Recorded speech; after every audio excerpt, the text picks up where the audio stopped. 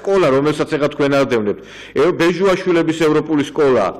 აა შემდგომ წვანე სკოლა, რომელიც ეს ავად მოსახსენებელი სკოლა, ნუგზარ ციკლაურის და გილაურის. შემდგომ ზალდასტანიშვილის ქართულ-ამერიკული სკოლა, მამუკა ხაზარაძის. იუჯითი სკოლა თბილისში და ბათუმში, გიული ალასანია სკოლა, მიხეილ სააკაშვილის დედის სკოლები. აი თქვენ აძევნებთ აი ეს თბილისში და ბათუმში მისი სკოლები. და ნიუტონის სკოლა, ნიუტონის თავისუფალი სკოლა გირჩის ერთ-ერთი ლიდერის ვახტანგ მეგრელიშვილის. ანუ ეს სკოლები, ჩემო მეგობრებო, არის იმ ადამიანების, რომლებსაც საკმაოდ დიდი ფული იშოვეს წინა ხელისუფლების პირობებში და დღეს ჩვენ ახალგაზრდებს დიან და ყველაზე განსაცვიფრებელი რა არის? ცით მე არ ვიცოდი, როდესაც აი ამ სკოლები ჩამონათვალს ვაკეთებდი, ვისი იყო ეს სკოლები და უმაღლესი სასწავლებლებიც ხო ამათია, თქვენ კარგად იცით, მაგრამ ეს ბოლო სურათი რო განახეთ, ეხლა მე თქვენ აი ნიუტონის თავისუფალი სკოლის აი ეს არის ვახტანგ მეგრელიშვილის სკოლა, ის არის დამფუძნებელი ამ სკოლის, აი თქვენ ადგენებთ ამ სკოლას. და ეს ის ვახტანგ მეგრელიშვილია ჩემო მეგობრებო, რომელმაც გამოთქვა ესეთი პოზიცია, რომ თურმე კარგია, რომ ქართველი ერი უმცირესობაში რჩება, აი ამ ბოლო პერიოდში ეთნიკური გარკვეული და ეს პრობლემების გამო, როდესაც მაგალითად მიგრაცია მიდის და 2050 წლის გაერონ თქვა, რომ ქართველი ერი იქნება მომაკვდავი ერი. ეთნიკურად ქართველი, აი მოქალაქეებზე მოსაუბარი, მოქალაქეებს 100% ავიღოთ. მოქალაქეების, მოქალაქეებს, საქართველოს მოქალაქეებს 100% ავიღოთ და თქვათ გახდა ეთნიკურად ქართველი, გახდა 59%. ეს თქვენს ტრაგედია იქნება თუ არ იქნება ტრაგედია? მათ კითხვის დამსველი მე ფაშისტი მგონია რომ არა გეკითხებით. იქნება თუ არა ტრაგედია? ასწავლეთ როგორ როგორ იქნება? არ იქნება ტრაგედია. არა თუ ტრაგედია არ იქნება საერთოდ მნიშვნელობას აი თქვენ აქ მნიშვნელობას მე ფაშისტი ვიცოდე დიახ გიწოდე თქვენ თქვენ მე ჩემ თვალში თქვენ ხართ მოღალატე ესე იგი ქართველი ერი უმცირესობაში თუ იქნებაო ეს რას ამბობ პირიქით კარგიც არისო.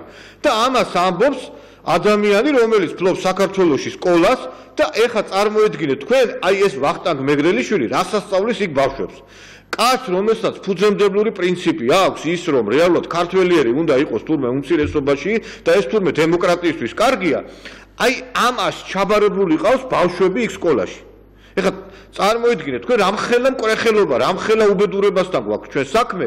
და ეხლა ხას ეს ვახტანგ მეგრეშვილი იყო, როდესაც და ეხლა ამ მარტო ეს ხო არ არის კიდევ რასაც ესენი აკეთებენ ახალგაზრდა თაობის მოწამლა, ესენი არიან მარიხუანას, ნარკოტიკების ერთ-ერთი პროპაგანდისტები, ესენი არიან ჯარში ბავშვების არგამშვებები, როდესაც იძახიან რომ ჯარში ჩვენი ახალგაზრდობა არ უნდა წავიდესო და აი ამ ამ ხალხს აქვს ჩაბარებული სწავლა, განათლება ჩვენი მომავალი თაობის. და ეხლა ხას კიდე ამ კაცმა გააკეთა განცხადება და თქვა რომ რა თურმე რა ცუდი ყოფილა საბჭოთა კავშირში არსებული სკოლები როგორ დამონებული ყავდათ თურმე მომავალი თაობა?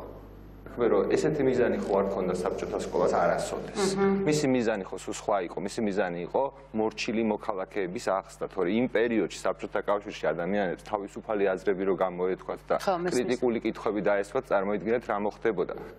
ეხა წარმოიდგინეთ, ეხა ეს ადამიანი ჩემზე უფრო ასაკოვანია და აი, როდესაც ამას ლაპარაკობს, რომ თურმე საბჭოთა სკოლებში ყოფილა, ესე იგი, დამონებული ჩვენი მომავალი თაობა. კი, მაგრამ ეს კაცი ხო იმ საბჭოთა ეპოქაში ცხოვრობდა და მე მას და იმ ადამიანებს, რომლებიც აი ესე ხელაღებით აი ამ საბჭოთა კავშირში არსებულ ამ სკოლებს და მაშინ ეს სწავლა განათლებას ესე რაღაცა ისე მოიხსენიებენ, რა რა ცუდი პირობები იყო მაშინ.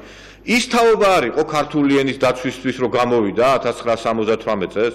ეს ის თაობა არის ყო როდესაც საბჭოთა კავშირის 56 წელს გამოვიდა და სტალინის კულტის აი ესე დაცვის გამო და სისხლი დაღვა რა ეს ის ახალგაზრდობა არისო რომ როდესაც ჩვენი ეროვნული ღირსება სპორტში და გარკვეულ სხვადასხვა დარგებშიც არის და გადავიდა ზარია დინამოს თამაშის დროს როდესაც დაგჩაგრეს ჩვენ იქ და გადავიდა სტადიონზე ქართველი ხალხი და აღშფოთება გამოთქვა და რობარა შევარდაძე იქ სისხლი დაიღრებოდა. და ეს ის ხალხი არ არის იმ საბჭოთა სკოლა გაზრდილი ხალხი რომელმაც 1999 წლის 9 აპრილს თავი გაწირა. და ეხლა მე ვეჭოფ რომ აი ამ სკოლაში გაზრდილი აი ამ ნიუტონის სკოლაში გაზრდილი ნამდვილი ბავშვები რაღაცა დიდ პროტესტ გამოთქვამენ რაღაცეებზე. და ყველაზე უფრო ცუდი რა არის იცი ჩემო მეგობრებო რომ რა თქმა უნდა იმ საბჭოთა კავშირს რაღაცა ნაკლოვანებები ქონდა მაგრამ შეადარეთ მაშინდელ სწავლა განათლებას. მაშინდელ უფასო სწავლა განათლებას უფასო ჯანდაცვას მაშინდელ პირობებს და გაიხსენეთ ის რომ თუ იკლავდნენ მაშინ ასე 600 კაცი თუ იკლავდა 600 ადამიანი თუ იკლავდა წელიწადში იმ საბჭოთა კავშირის დროს თავს. და გაიხსენეთ ის ფილმები რომ რა ფილმებზეც ვიზრდებოდი ჩვენ და ის ფილმებიც ის მაშინდელი გარკვეული გამოძახილები ასახავს იმ რეალობას რას იყო რას რას უმღეროდნენ ჩვენ ჩვენში აიგივე ბნელ საბჭოთა კავშირში როგორც ესენი იძახიან მაშინ. და რას უმღერიან ახლა გაიხსენეთ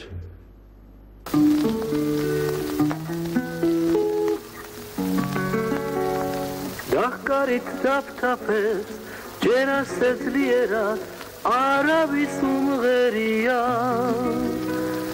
მიზანი ერთია დიადინათელი ჩვენი მზეც ნათელია. ზემო გაგულება მზე აკასტერადი მიდი გასამური უმღერი სიცოცხლეს უმღერი გაზაფუს ქვია ლასალამური დიახ, ჩემო მეგობრებო, მაშინ უმღეროდნენ სიცოცხლეს, სიყვარულს, გაზაფხულს და აი ამ ბავშვების თვალებში სიცოცხლის და სიყვარულის დაპერწყალი იყო. და დღეს რას უმღერიან? დღეს უმღერიან, მაგალითად, აი სექტანტი დეისაძეების მსგავსად იმას, როგორ უნდა, ესე იგი, მოუკლათ мама და როგორ უნდა ვებრძოლოთ ოჯახურ ტრადიციებს. სასწაულზელი როგორც მამას უნდა საშობლო გესმის როგორც მამას უნდა და ხოცა ყველას ვინც მამას უნდა არ ისმენე რადგან მამას არ უნდა შენ გახარ მამას შენ გახარ მამას შენ გახარ მამას შენ გახარ თუ კი აი ბნელ წასუში ხიტი იყო აი უნიკალური რა ლამაზი ბავშვების და თქვენს კიდევაც აჩვენეთ აჩვენეთ ეს ბავშვები სოფლიოს და ომი არ იქნებაო თუ ხიტი იყო მზიურის აი შესანიშნავი სიმღერები დღეს ქართულ საზოგადოებაში ხიტად იქცა ერეკლე დეისაძის აი ეს სიმღერა როგორ ჩავაძაღლოთ мама და აი ხიტად არის ქცეული როგორ უნდა ვებძოლოთ ოჯახურ ტრადიციებს და მარტო ერეკლე დეისაძე ხო არ ლაპარაკობს ამას